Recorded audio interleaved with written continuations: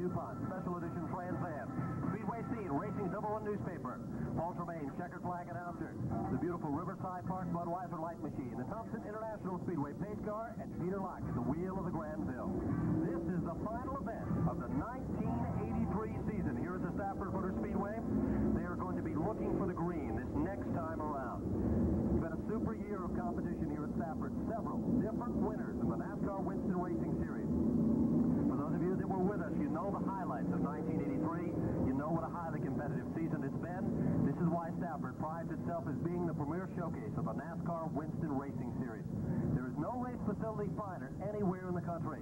When you come to the half mile here at Stafford, you know what short track racing is all about.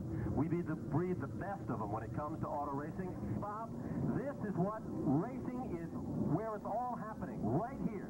For short track racing at its finest, your final chance to bid to them for responding to you and giving you such a great racing season.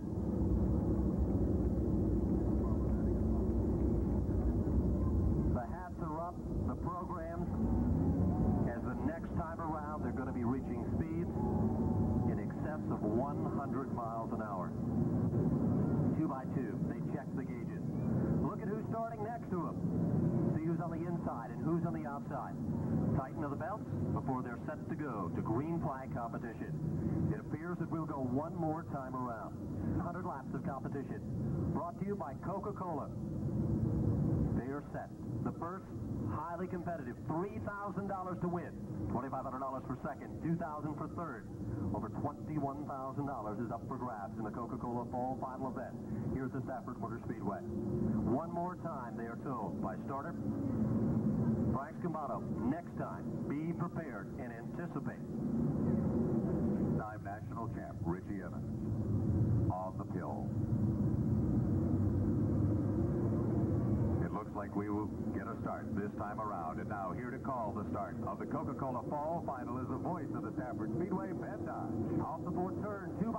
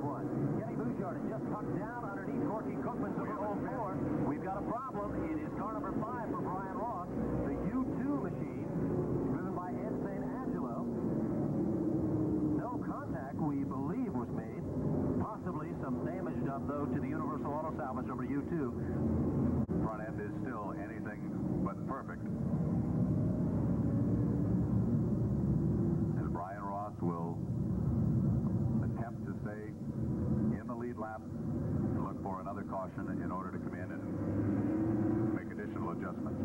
Pace car is in. The green flag comes out rather rapidly. Everybody is on the gas, heavy off the fourth turn. Evans has got to wound up once again. Running in number two spot. Red works his way to the outside of Kenny Bouchard. It takes him a couple of laps to get those Hoosier tires hooked up, but once they get cooking, watch out. He is a terror on that racetrack. Red Eye has now taken over the third spot. Kenny Bouchard has to comes Tony Siscone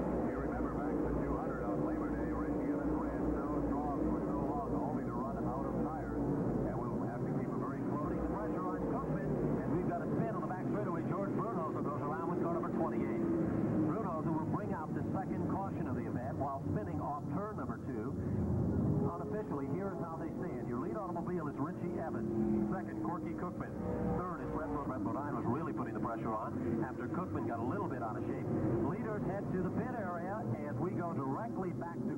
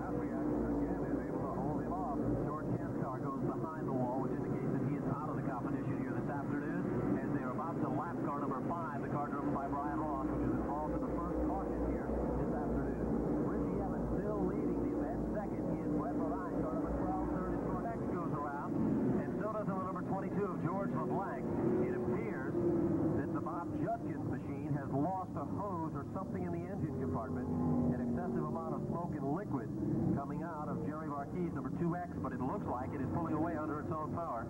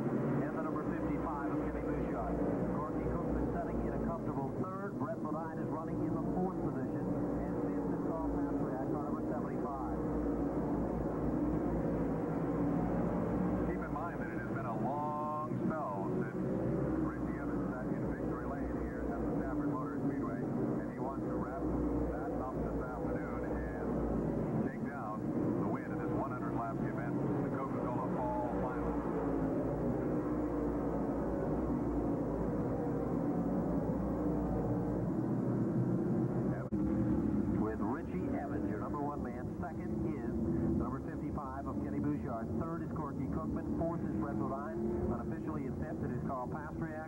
Sixth is Carl Bugsy Stevens. Unofficially in seventh, it is Tony Siscone. Eighth position, we believe, is Stan Greger. And ninth spot would be Magic Shoes Mike McLaughlin, with tenth spot possibly the number 10 of John Falcone. In the pit area, Miller's machine returns to the surface. We go back to green flag racing action. Kenny Bouchard is right in the back bumper of Evans. Evans sideways. Bouchard is going to go for this one.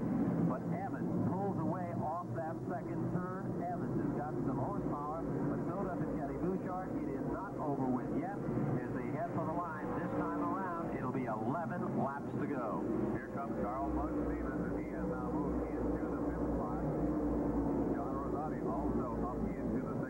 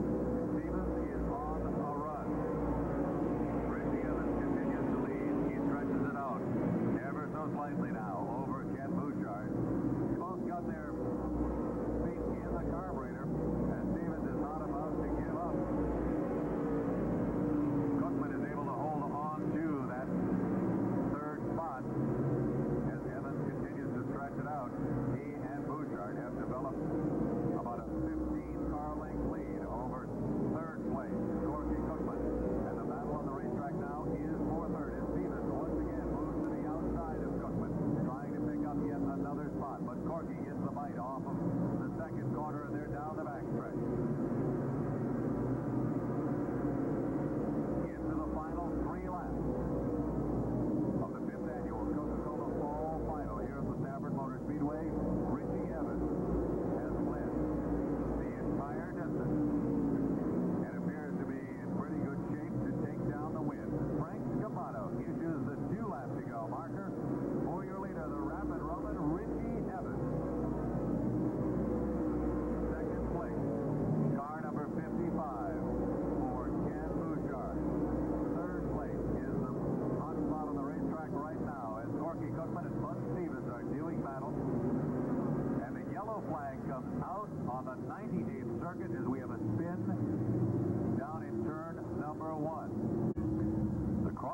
signal is given once again. Kenny Bouchard will have his final shot at taking the lead. Car number 59, Jamie Tomaino, a left car, will fall into place. Corky Cookman, who is running in third spot, will move up alongside. Fourth, Carl Bug Stevens. Fifth, the 12 of Brett Bodine. In the sixth spot, the 14 of Tony Siscone. Carl Pasterak. Eighth would be the 10 of Stan Greger. Ninth would be the Z8 of Mike McLaughlin, and 10th, the 711 of Paul Barreri. The stage is set, the pace car is in, the green flag is out, and we're back under green flag conditions here in the final moments of the Coca-Cola Fall Final. Richie Evans slams the door on Kenny Bouchard coming off of that fourth turn as Evans takes the lead once again. Here comes Stevens up on the outside trying to make up some lost ground as Brett Bodine was able to slide in and pick up that fourth spot on the restart. Evans sets the pace as the white flag now flies. One lap to go for your leader. Let's follow them all around. Bug Stevens moves underneath Brett Bodine, and Stevens now drops back into the fourth spot. Here we go through turn three and four. Your leader and the winner of the fifth annual Coca-Cola Fall Final here at the Stafford Motor Speedway, Richie Evans. Kenny Bouchard in for second. Third would be the 04 of Corky Cookman. Bouchard. After finishing an impressive second, Corky Cookman his third.